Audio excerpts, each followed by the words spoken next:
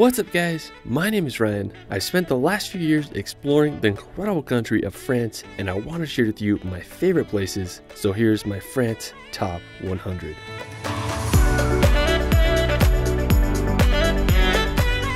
Of all the countries on earth, I think France tops them all when it comes to its combination of natural beauty and endless history. From the diverse landscapes of Corsica to the wild horses of the Camargue, it's easy to see why France is the most visited country in the world. For this list, I also included places in overseas France like French Polynesia. This video is a long one, so I made timestamps so you can jump around to your favorite destinations. Let's start this video off at the French Riviera. Located in southern France on the Mediterranean Sea, the French Riviera is one of the most highly sought after destinations in Europe. One of my favorite places on the French Riviera is Èze. Located on a hilltop overlooking the coast below, I have to say this was easily one of the most impressive medieval places I visited in southern France. Èze was founded during the Middle Ages around the 14th century, and today it's known worldwide for its medieval vibe and views of the French Riviera. I really enjoyed exploring the pathways that wind through the village you really feel like you're walking back in time. Everything is so old, yet it's perfectly preserved. One of the main features of Èze is its exotic garden.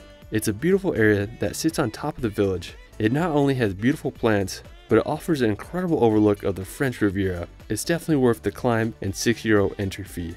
After it, we're going to visit Menton. Located about 30 minutes from Èze, Menton is strikingly beautiful with its colorful buildings complemented with the backdrop of the Maritime Alps. Menton was a part of Italy until 1860 and then it became a part of France. Now there's a great boardwalk that walks along the coast and I enjoyed going out to the lighthouse pier to get panoramic views of Menton. Afterwards, we're going to visit the country of Monaco. Located right between Èze and Menton, Monaco is the second smallest country in the world after the Vatican. The whole country is only 499 acres. Monaco has been known as a billionaire's playground, and over one third of Monaco's citizens are millionaires. One reason why Monaco draws the rich is because it's a tax haven, there are no income taxes, and the other tax rates are extremely low. One of the most famous places in Monaco is the Monte Carlo Casino. It was opened in 1863 and has been featured in the James Bond films.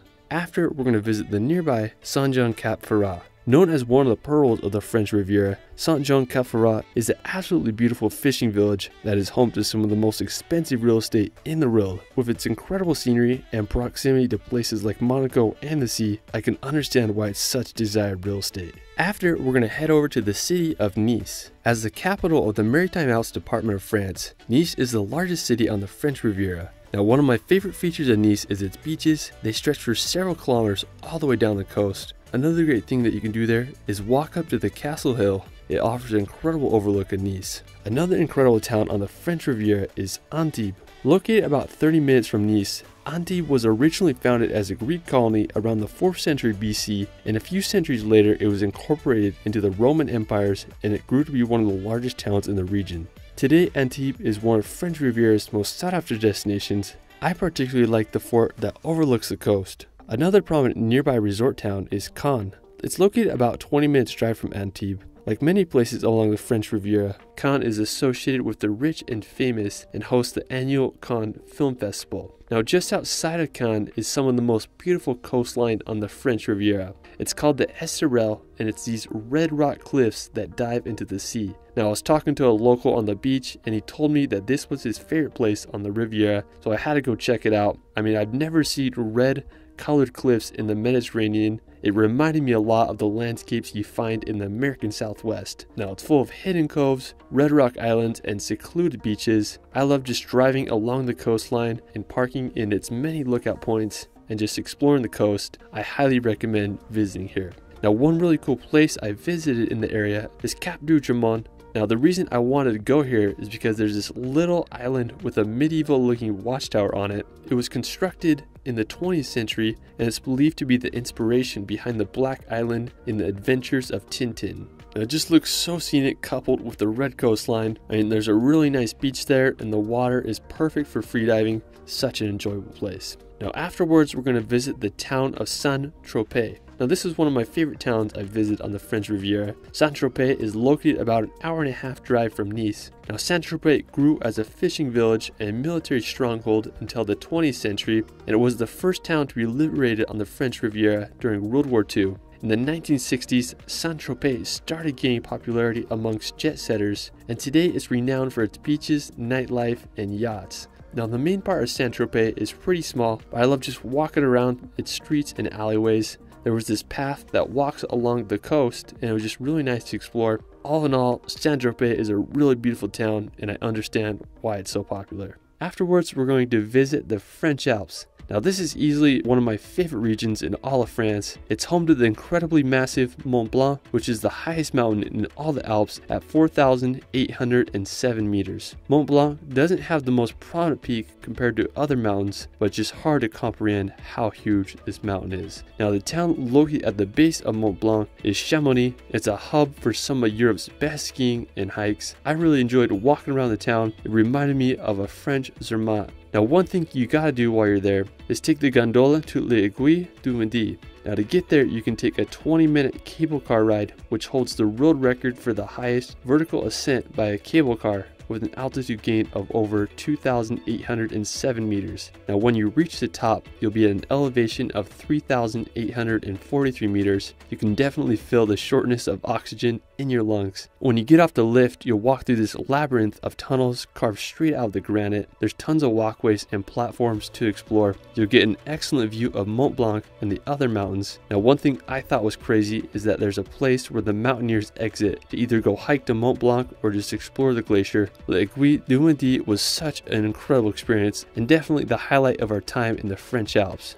Now, when you get back to Chamonix, another thing you can do is take the train to Mer de Glace you can get a Mont Blanc multipass for about 83 euros. This will both let you take the train and the lift to l'Aiguille du Midi. Now the train winds up the mountain and you get some great views along the way. Sit on the left hand side, get the best views. Now when you reach the top, you'll be able to see the Mer de Glace. It's the second largest glacier in all of Europe. I mean what's sad is when you look at pictures of over 150 years ago and you see how much this glacier has shrank. Regardless, the whole area is breathtaking. You'll get views of the surrounding mountains. They're just like so jagged. I've never seen anything like them. Afterwards, we're going to visit the nearby city of Annecy. Now, located at the foot of the Alps, about an hour's drive from Chamonix, this alpine town is famous for its canals, hence, it's called the Venice of the Alps. Now the city is just absolutely magical, but what I love about the region is the Lake Annecy. It's surrounded by scenic mountains and it's known as one of the cleanest lakes in all Europe. I mean, I can't think of a better place to enjoy on a hot summer day. One of the crowning features of the area is the Chateau de Menthon Saint Bernard. The first fortress was built here around 1000 years ago and today it stands as one of the most impressive castles in all the Alps. We decided to explore it. It cost about 11 euros to enter. I was just astonished by the size of it and how well the castle was preserved. There was a massive courtyard with perfectly laid stones. The chateau's interior was just as impressive. It's just wild to think people lived in such luxury hundreds of years ago. I mean, I can't imagine what it must have been like to live there back then.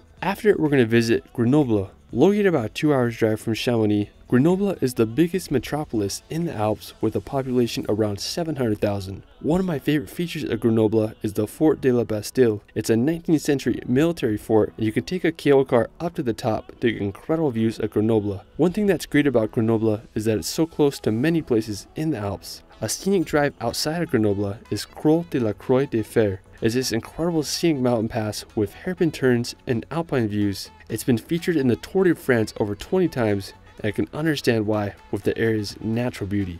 A beautiful lake in the area is Lac des Serre-Ponçons. It's this beautiful reservoir with turquoise water, and one thing that I particularly like about it is this little island with a church on it called Saint Michel that dates back to around the 17th century I mean, there's no shortage of scenic churches in France. After it, we're going to take a drive on the Col du Lautaret. With an altitude of 2,058 meters, Col du Lautaret is the highest mountain pass in France that is accessible year round. The road features incredible views, and you pass through some quaint villages like Le Grave. From the highest point in the pass, you can take a road that leads you up to Col du Galibier at an elevation of 2,642 meters it's the eighth highest paved road in the Alps and also one of the highest routes featured in the Tour de France. While we're still on the topic of mountain passes, we're going to visit Col de l'Iseran. At elevation of 2,770 meters, Col de l'Iseran is the highest paved mountain pass in the Alps. It's located in the Graian Alps and connects into Italy. If you head south on the pass, you'll reach Vanoise National Park, which is the first national park in France. It's home to animals such as the ibex.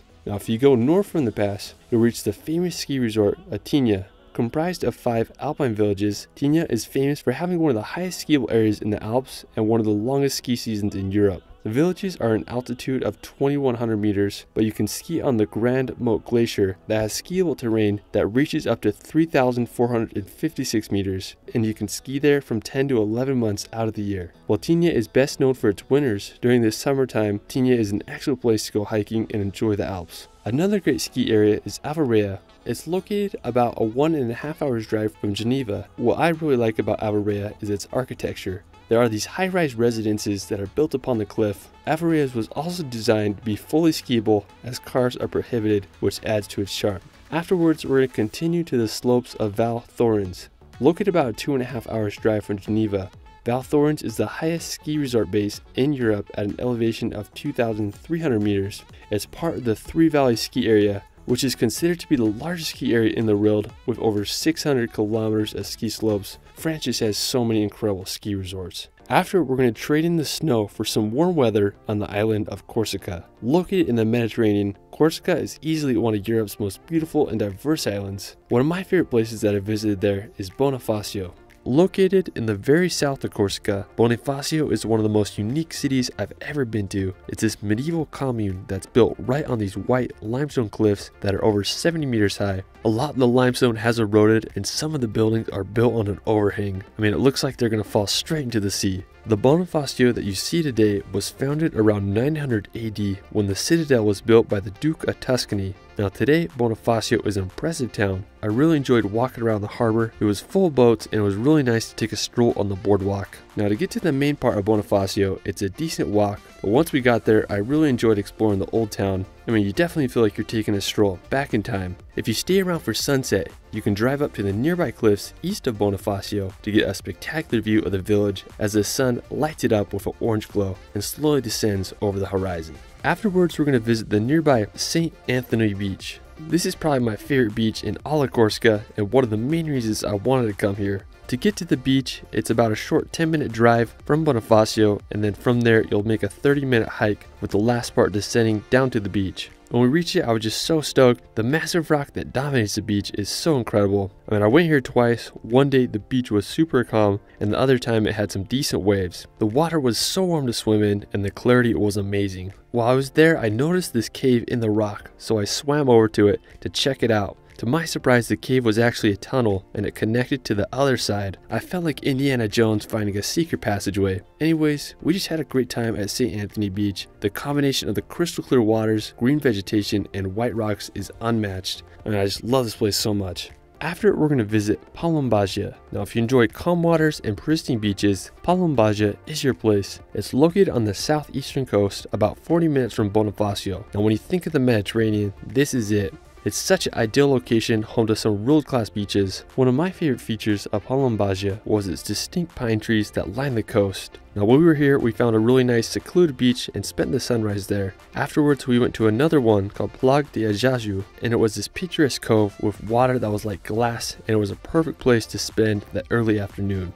Another nearby beach is Santa Giulia. It's a scenic cove with a beach that's situated between this lake and the crystal clear Tyrrhenian Sea. I mean, I couldn't believe the watercolor, and it also had this really cool group of rocks that people were paddleboarding and swimming out to. Definitely a great beach to enjoy a nice afternoon at. Now afterwards, we're going to leave the coast to venture into Corsica's mountains. Corsica may be famous for its beaches, but it's also home to some of the most incredible mountains in Europe. One of my favorite places in Corsica's mountains was the Aiguilles de Bavella. Aiguille is the French word for needles, and after seeing those mountains, I totally understand why it's called that. The area is full of these jagged granite rocks that make up for some of the most beautiful mountains I've ever seen. From the village of Bavella, you can walk around and marvel at the mountains. I was also fascinated by the trees up here. They were so unique looking and created for the most epic landscape combination.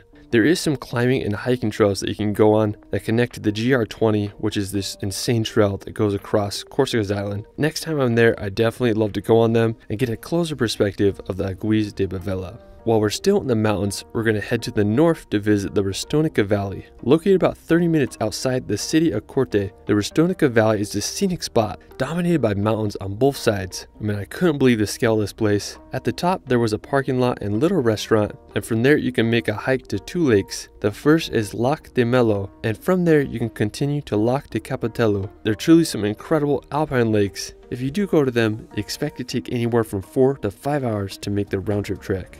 Afterwards, we're going to head back to the coast to visit Le Rousse. Now, located about an hour's drive from Corte, Le Rousse is this town on the coast that was founded in 1758 to create a new port that wasn't controlled by the Genoese.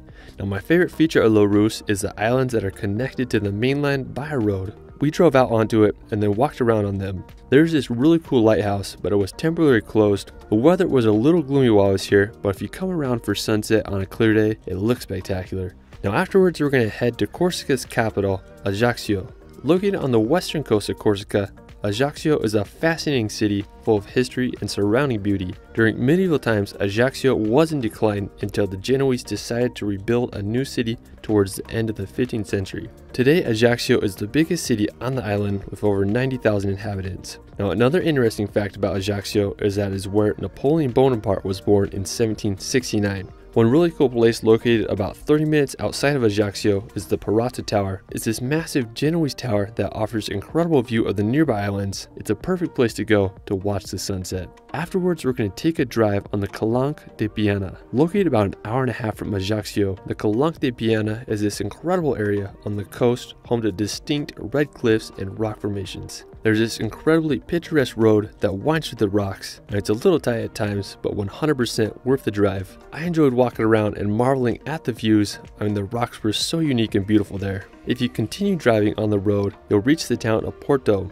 The main reason I wanted to go here was to visit the Genoese Tower. I mean, it looks so epic with the waves slamming into the rock with the mountains in the back. After, we're going to experience Torra di Turghju, there's no shortage of medieval watchtowers in Corsica, and this is possibly one of my favorites. To reach it, it's a long hike, but 100% worth it. The hike starts off with a nice descent, but as you approach the tower, it's a decent scramble up the rocky mountain. When we reached the tower, I was just impressed by how big it was, and just the fact that they were able to build this back in medieval times. There was a windy stair on the outside, and then another stairway inside to reach the top. I mean, the views up there were spectacular. It was a 360 panorama, perfect for spotting incoming pirates and enemies back in the day. I mean, we spent the sunset up there, and it was the perfect way to end our time on this magnificent island. After, we're going to head back to France's mainland to visit the region of Brittany. Located at the northwestern tip of France, Brittany is a land full of rugged beaches and countless lighthouses. One of the most well known places in Brittany is St. Malo. When it comes to walled cities, St. Malo may be one of the most impressive I've ever seen. It was found back in the 1st century BC by the Gauls, and it prospered throughout the centuries thanks to its strategic position. It became famous for being home to the Corsairs, who were basically pirates for the French government. Fast forward to 1940, and St. Malo was invaded by the Nazis, and in 1944, St. Malo was almost entirely destroyed by the Allies. It took 12 years to rebuild St. Malo. Today, it stands as one of the most incredible port cities I've ever been to.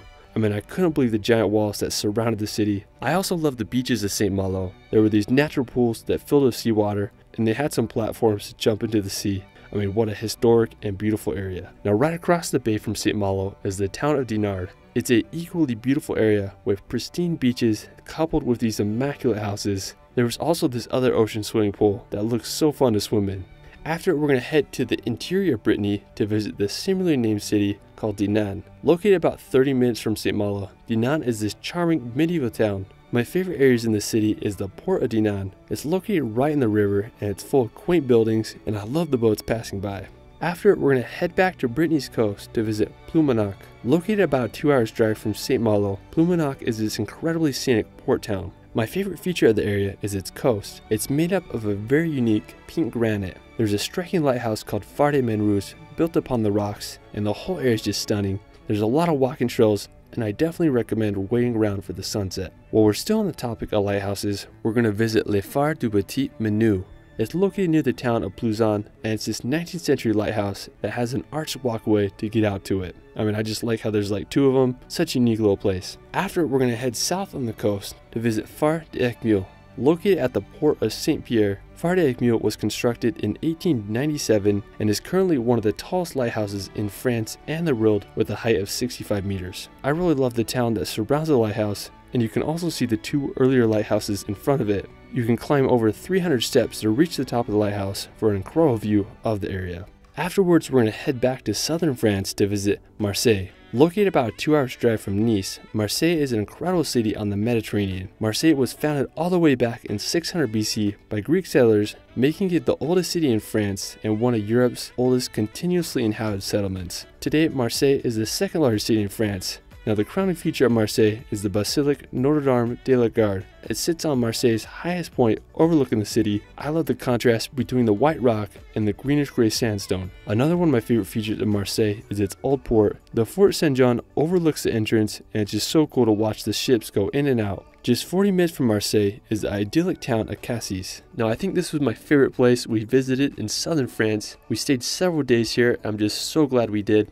It's a seaside town with that classic French chic charm. Now, Cassis is overlooked by Cap Canaille, which is home to the highest sea cliffs in all of France with a height of 394 meters. Now there's a great beach in Cassis, overlooked by a castle. I mean, I just love walking around the harbor, looking at all the boats. You can also walk to the lighthouse at the end of the harbor to just relax and enjoy the sounds of the sea. Now, one of the main reasons I wanted to go to Cassis and just southern France in general was to visit the Calanques. Now, they are these incredible sea coves surrounded by daunting cliffs and crystal clear waters. The one I really wanted to go to is Calanque d'En-Vau. Now, there's several ways to get here. You can either take a boat, kayak, or hike in. Now, on our first day there, we rented a little boat from the harbor in Cassis and headed out to the Calanques. Now the views on the way were just absolutely incredible. Now one downside about the boat is we couldn't land on the beach. You can only drive like halfway through and then it's roped off. But if you do rent a kayak or a paddleboard, you can take it to the beach which I definitely recommend if you can handle the long paddle. Now we went in as far as we could in the Calanque and then turned around after we just kept exploring the coastline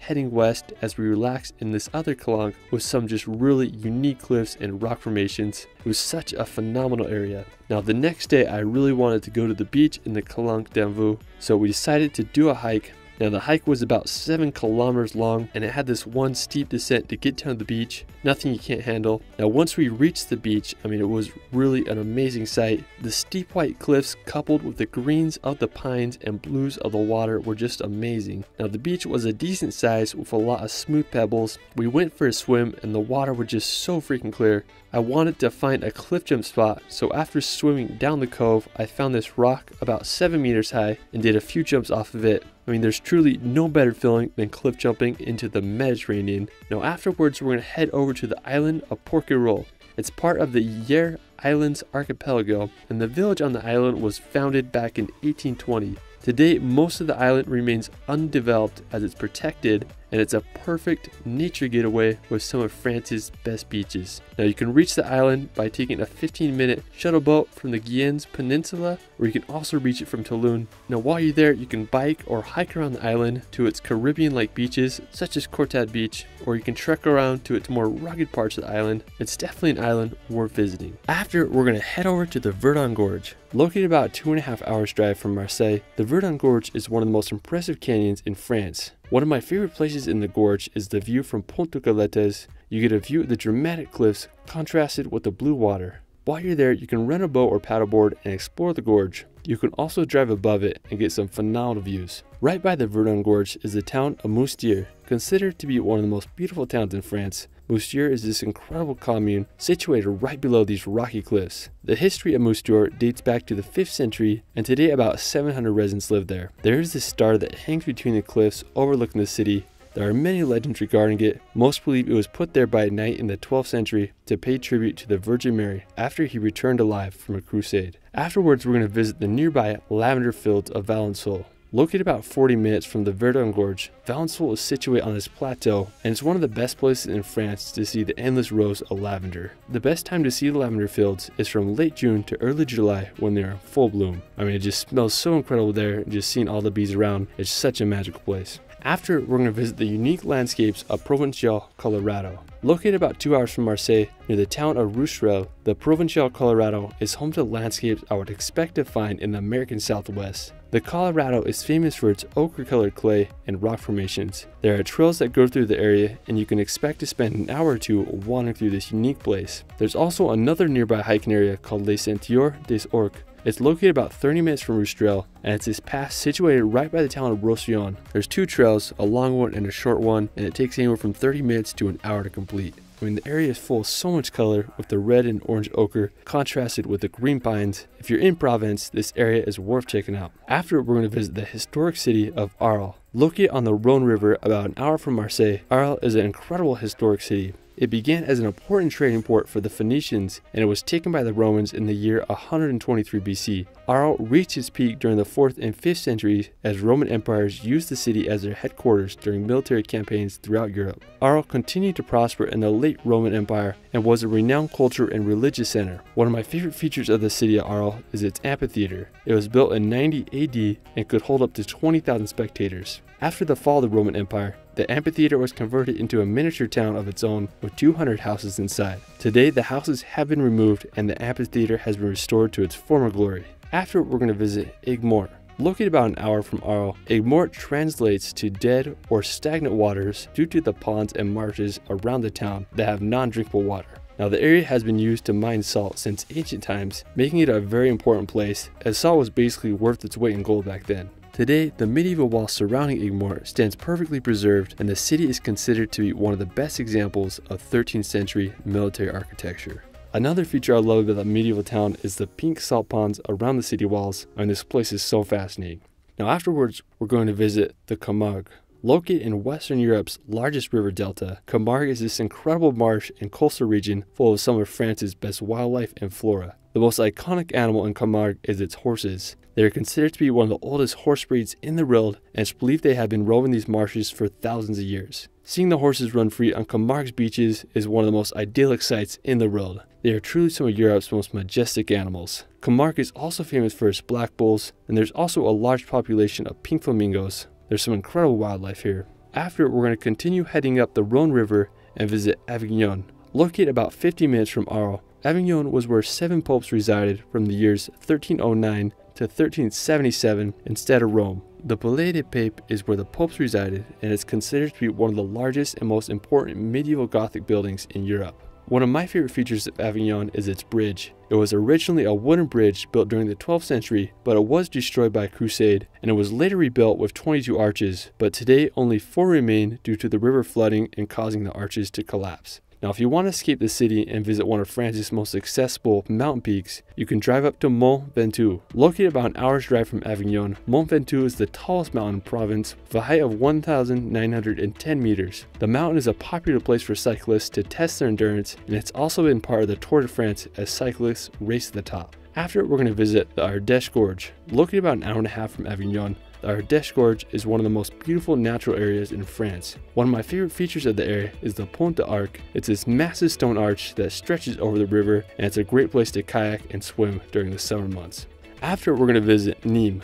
Known as being the most Roman city outside of Italy, Nîmes has been referred to as the French Rome. Back in the 1st century BC, it became a Roman colony and Julius Caesar started a building program to protect and grow the city. Nîmes prospered until the end of the 3rd century and it was eventually overtaken by the Visigoths in 472. My favorite Roman structure that remains today is the Arena of Nîmes. It's considered to be one of the best preserved Roman amphitheaters and it's the biggest one in France. Another incredible feat of Roman architecture nearby is the Pont du Gard. It's located about 30 minutes outside of Nîmes and it's the tallest Roman aqueduct bridge ever built with a height of 48.8 meters. It was completed sometime in the 1st century AD and is believed to have taken around 15 years to complete. It's just mind-boggling that the Romans were able to construct this nearly 2,000 years ago. The bridge helped carry water 50 kilometers to Nîmes. It's truly one of the greatest preserved pieces of Roman architecture that exists today. After, we're going to visit the modern architectural wonder of Millau Viaduct. Located about a two hours drive from Nîmes, the Millau Viaduct is the tallest bridge in the world with a height of 336 meters. It was completed in 2004 after costing about 400 million euros and is considered to be one of the greatest engineering achievements of modern times. I mean, the scale of this bridge is on another level. I mean, I don't know what's more impressive, the Millau Viaduct or the Pont du Gard. Both are architectural marvels. After, we're going to visit Montpellier. Located about 15 minutes from Nîmes, Montpellier is the third largest French city on the Mediterranean. During medieval times, it was part of the Spanish kingdom of Aragon, but it was sold to France in 1349. One thing that I thought was interesting about Montpellier is that it's home to the oldest medical school that's still in operation. It was founded back in 1220 and has taught notable alumni such as Nostradamus. If I decided to be a doctor, I would have loved to study there. Today, Montpellier is one of France's fastest growing cities. One of my favorite features of Montpellier is its 18th century aqueduct that supplied water from 14 kilometers away. From Montpellier, you can make the 20 minute drive to the coast to visit Palavas-les-Flots. Located on this narrow strip of land between these ponds and the Mediterranean, Palavas-les-Flots is a nice beach area, perfect for a weekend escape. It originated as a fishing village, and today it's one of the best beach towns in the area. There are over 7 kilometers of beaches, and I particularly like the uniquely shaped harbor, full of boats. After it, let's head over to the medieval fortress of Carcassonne. When I imagine medieval Europe, I don't think there's a place that exemplifies it better than the fortified city of Carcassonne. Located about two hours from Montpellier, Carcassonne became a popular spot in 100 BC when the Romans identified this strategic location and decided to build a fortification on the hilltop. Throughout the centuries, Carcassonne proved to be an impregnable fortress as army after army failed to overtake the protected city. Today, Carcassonne consists of 53 towers that are protected by its two outer walls. It remains as one of Europe's greatest medieval gems. What an incredible piece of history. After we're going to head to one of my favorite bridges in France, Pont Valentré. Located in the town of Cahors, Pont Valentré is a medieval bridge that spans over the Lelot River. It took 70 years to construct the bridge and was finally finished in 1378. Today, the bridge features six arches with three towers and can only be crossed by foot. After, we're going to head back to the Mediterranean to visit Collioure. Located on the sea near the border of Spain, Collioure is an incredibly scenic harbor town. Now, one of my favorite features of Collioure is the Fort St. Elme. It was opened in 1552 and it's a star-shaped fortress. I also like the beaches in the town. They're contrasted with medieval buildings and it's such a peaceful place. After, we're going to head to the mountains to visit the Pyrenees. Straddling both France and Spain, the Pyrenees are a mountain range that separates the Iberian Peninsula with the rest of Europe. One of the most impressive places in the Pyrenees is the Cirque de Gavarnie. It's this massive horseshoe-shaped glacier bowl with numerous waterfalls descending its cliffs. It was described by Victor Hugo as the Colosseum of nature. The second tallest waterfall in Europe is found here with a height of 422 meters. It's a little bit of a hike to reach the Cirque, but 100% worth it. A beautiful lake in the area is Lac de Gaube. You can take up some cable cars, and after that, it's a short 15 minute walk to this spectacular lake. Another one of my favorite places in the Pyrenees is Lac d'Ayous. It's a nice two hour hike to the lake and has incredible view of the mountains. It's an excellent place to visit for sunrise or sunset. After, we're going to head to France's west coast to visit Biarritz. Located on the Atlantic Ocean near the border of Spain, Biarritz is a luxury travel destination famous for its incredible coastline and surfing. Compared to places on the Mediterranean, the ocean of Biarritz is a stark contrast with its waves battering its beaches. The Grand Plage is a nice beach lined with some of Biarritz's noble hotels. I also like the Rocher de la Vierge. There's a walkway that takes you over the ocean to this really cool rock. Another beautiful city just south on the coast is Saint-Jean-de-Luz. It shares its massive harbor with the city of Ciboure. The area not only is extremely beautiful, but it's where Louis XIV married Maria Theresa. It's considered to be one of the most important political marriages in history. Today it's an amazing port city in France's Basque Country. After we're going to head up north to visit the wine capital of the world, Bordeaux. Located in southwestern France, Bordeaux is one of France's most incredible cities. In the 18th century, Bordeaux's Port of the Moon supplied a majority of commodities such as coffee, cocoa, and sugar to Europe, and it was one of the second busiest ports in the world after London. Going into the 19th century, Bordeaux struggled after the slave revolt in Haiti, which collapsed Bordeaux's port economy. Now today, Bordeaux is known for being the wine capital of the world. Vineyards were introduced to the region during Roman times, and wine has been made here ever since. Now a beautiful village located in Bordeaux's wine region is Saint-Emilion. It's located about 40 40 minutes outside of Bordeaux. It's this incredibly scenic medieval commune that's surrounded by vineyards that have been there since the 2nd century. The area is incredibly picturesque and the vineyard stretches far as eye can see. I mean, it's such a quaint and beautiful area.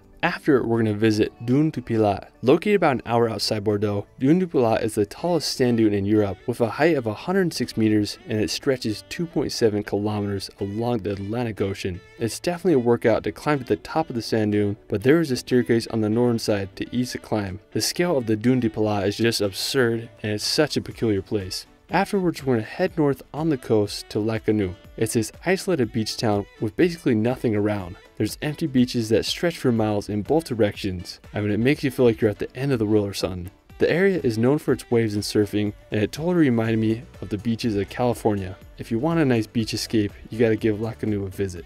After, we're gonna continue up the coast to visit La Rochelle. Situated on the Bay of Biscay, La Rochelle is a beautiful city that was founded during the 10th century. My favorite feature of La Rochelle is its harbor. It's guarded by these two medieval towers that overlook the port. From La Rochelle, you can make the short drive to the neighboring island of Ile de Ré. There's a bridge over the sea that you cross to get to the island. Ile de Ré is a quaint place, and it's a popular destination to escape and relax. I really like the town of St. Martin with its fortified port. The little island is also a great place to go surfing. After, we're going to visit the region of Dordogne. Located in central France, Dordogne is a rural area full of incredible towns, villages, and history. Dordogne is known as the land of 1001 castles because in fact there are 1001 castles. Now one of my favorite features is the Chateau de Beynac. It was built in the 12th century by the barons of Beynac, and today it's one of the best reserved castles in the region. I just love how it's perched on the cliff overlooking the town below. Now afterwards we're going to visit Rocamadour, it's located in southern France on the River Dordogne. Now I think Rocamadour is one of the coolest cliffside towns in all of France. It dates back to medieval times with its earliest records dating back to the 1200s and it's attracted pilgrims throughout the centuries and today it's regarded as one of France's most beautiful towns. I love when they bring hot air balloons here. I mean it's so incredibly enchanting. Afterwards we're going to visit this church called Saint Michel d'Aiguilhe that's located in the town of Le Puy. The church is built on this needle-like rock that's 82 meters high. The church was built in 1969 and is dedicated to the Archangel Michael. You can walk up 268 steps to reach the top. I mean, once again, the churches of France will never cease to amaze me. Now, afterwards, we're going to visit the city of Lyon. Located about an hour and a half from Grenoble, Lyon is a beautiful city built upon two converging rivers. During Roman times, Lyon was the capital of the Gauls, and during the Renaissance, Lyon was a major economic hub. Today, it's France's third largest city. One of the most prominent features of Lyon is the Basilica of Notre Dame. It's perched perfectly on the hill overlooking the city. After, we're going to head over to the Alsace region. Located in eastern France, bordering Germany and Switzerland, the Alsace region is famous for its medieval cities, wine country, and rich history. Over the centuries, the region has alternated between French and German control, and today it represents a mix of those cultures. The capital of the Alsace region is Strasbourg. It's home to the formal seat of the European Parliament. Another enchanting city in the region is Colmar. It's located just an hour's drive from Strasbourg. Now Colmar looks like something straight out of a Disney film. The city's old town is lined with timber, medieval buildings. I also love the canal that runs through the city. It just adds to the magic of the place. If you want to escape the cities, you can experience Alsace wine route. It's a 170 kilometer long route that passes through some of France's greatest wine country and picturesque towns. One of my favorites is the quaint village of Riquewihr. It's believed to be the village that inspired the town from Beauty and the Beast. Another noble nearby village is Kaysersberg. It dates back to the 1200s and it has switched being part of both Germany and France several times throughout the centuries. One of my favorite features of Kaysersberg is its castle. It was built about 800 years ago and overlooks the village. Another incredible castle in the region is the Chateau du Haut Königsberg. Perched upon a mountain overlooking the Black Forest, this castle dates back to the 12th century and it was rebuilt by the last German emperor in the early 1900s. After World War I, it became part of France, and today it's one of the most visited attractions in the region. Another entering place in Alsace is Neuf-Brisach. It's this octagon-shaped town that began in 1698 with the intent to guard the border between France, Germany, and the Holy Roman Empire. When it comes to fortresses, this is one of the most perfect ones I've ever seen. Afterwards, we're going to head to northern France to visit Dunkirk. Located right on the coast near the Belgian border, Dunkirk is a famous World War II location. On May 10, 1940, Germany invaded Belgium, Luxembourg, the Netherlands, and France. As a result, the Allied troops found themselves trapped on the beaches of Dunkirk.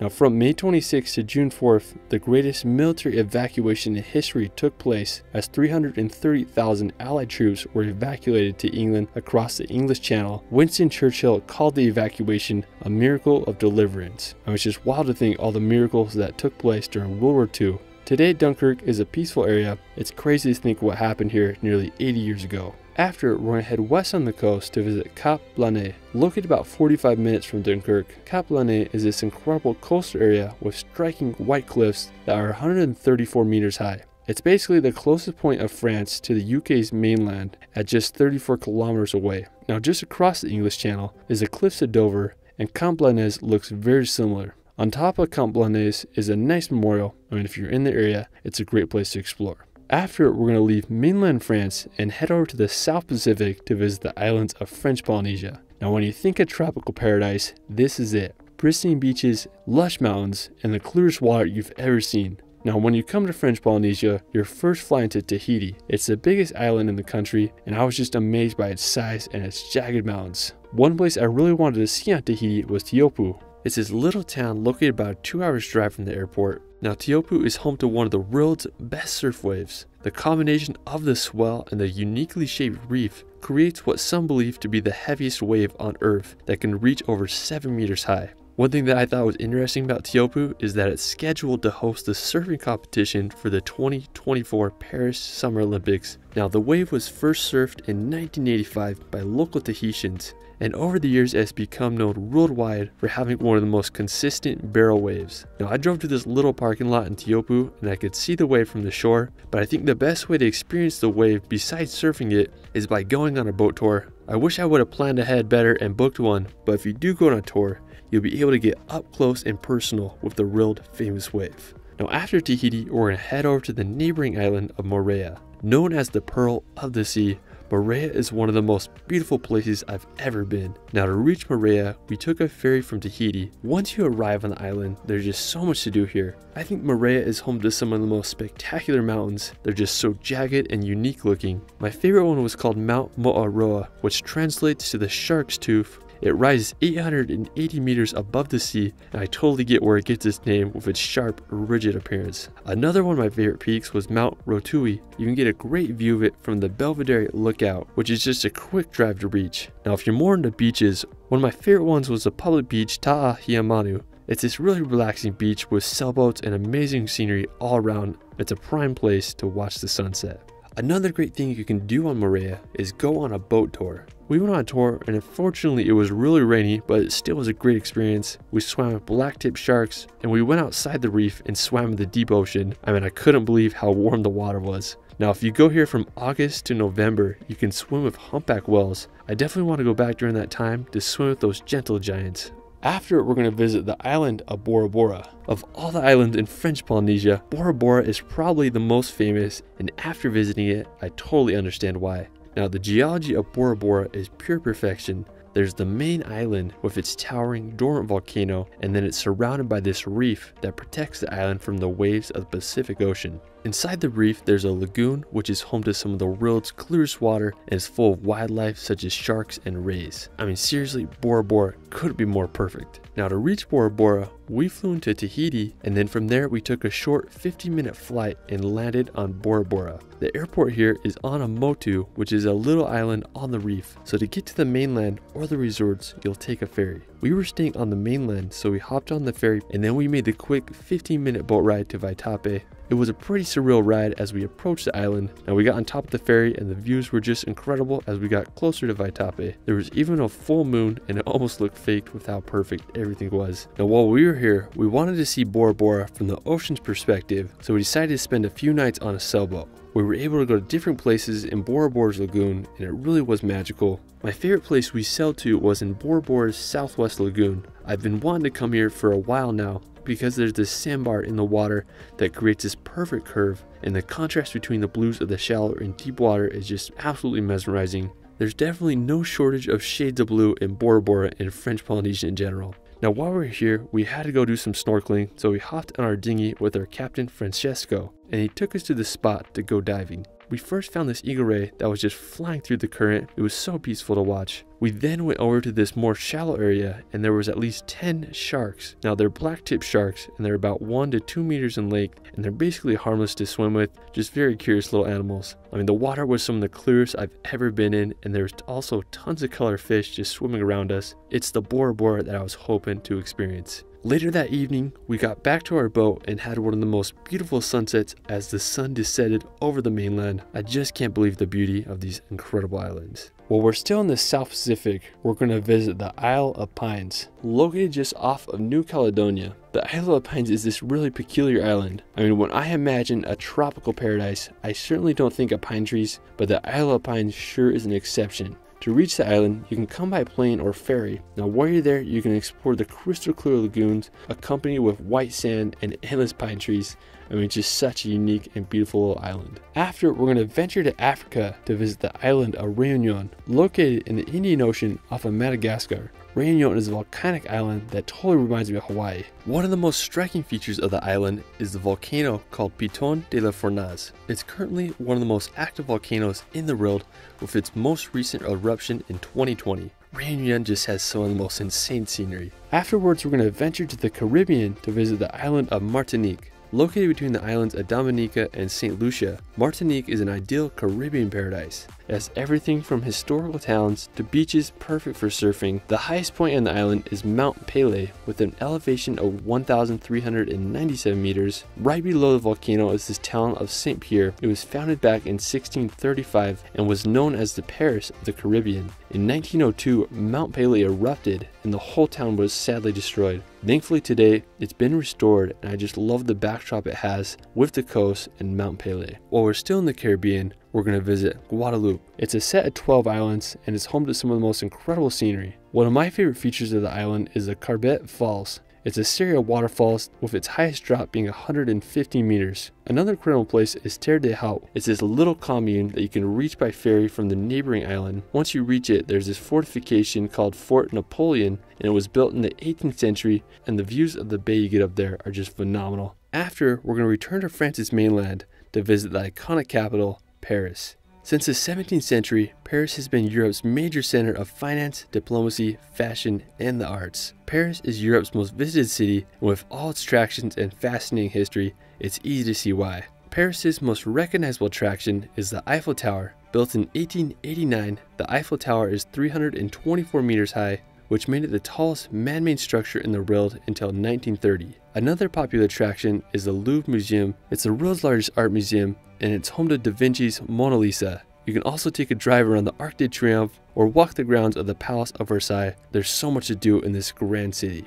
After, we're going to visit the Loire Valley. Now located in central France, about a two hours drive from Paris, this has to be the chateau capital of the Reld. It's home to over 300 French castles. Now, if you're wondering why there are so many chateaus here, it's because of the combination of location, fertile grounds, and the competition amongst kings and royals that brought so many castles here. One of the most famous chateaus is Chambord. It's the largest in the valley and its estate is as big as Paris. It's rumored that Leonardo da Vinci helped design it. It took over 28 years to build and was finished in 15 47. It's truly a mind-blowing piece of architecture. Now another one of my favorites is the Chateau de Chenonceau. Built in the early 16th century, what's wild about this chateau is it's built upon a river. I mean, I love all the arches. It's definitely one of the most beautiful buildings in all of France. After we're going to head to the region of Normandy. Famous for its natural beauty and history, Normandy is one of the most well-known regions in all of France. One of my favorite places in Normandy is Etretat.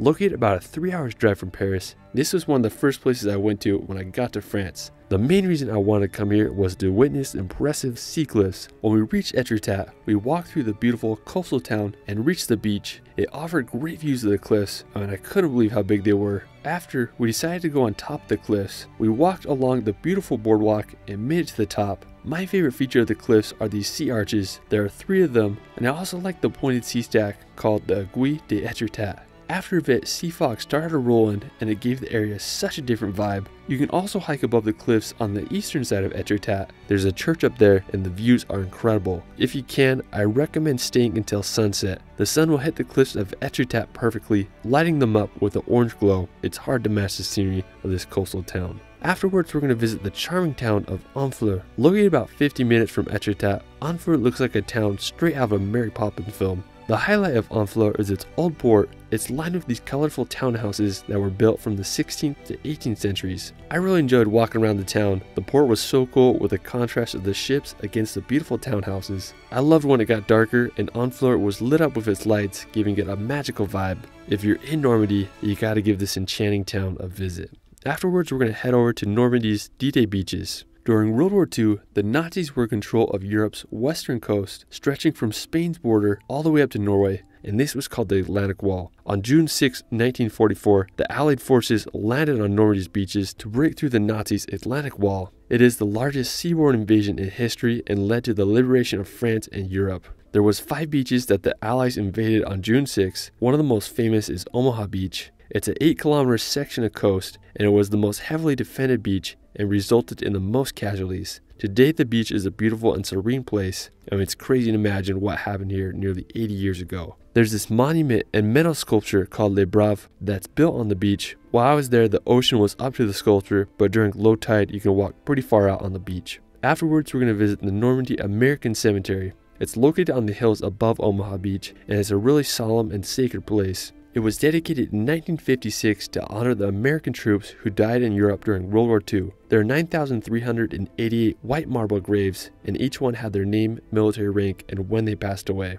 I was just crazy to see how perfectly placed each grave was in every direction. It was humbling to walk around these sacred grounds and reflect on the sacrifice and bravery of these American heroes. Afterwards, we're going to visit Pointe du Hoc, Located about 15 minutes from Omaha Beach, Pointe du Hoc was a strategic promontory for the Nazis. It's situated on a cliff 35 meters high and it was heavily fortified with bunkers and artillery. Before D-Day, it was attacked by the US and Royal Air Forces, and today you can see the numerous craters left behind. On June 6, it was attacked and captured by the Allies. The troops had to use the 30 meter rope ladders to scale the sea cliffs, it was really interesting to walk around Pointe du and see all the craters. It was also really fascinating to walk inside the bunkers as well and to think that there were soldiers in here almost 80 years ago.